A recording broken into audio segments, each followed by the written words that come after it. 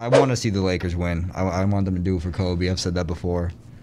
Uh, I think I think they will. I think they're going to get through to that. I don't, I don't see any reason why they wouldn't, honestly. Yeah, but what's then, standing in their way? okay, well let's let's talk hypotheticals here, right? Yeah. Who do we have coming out of the East at the moment? Heat. Right now, I say Heat. Heat. Yeah, So then we'd see a Lakers versus Heat finals. yeah that'd be. Do we want to preview that, or do or would that be a little bit too early?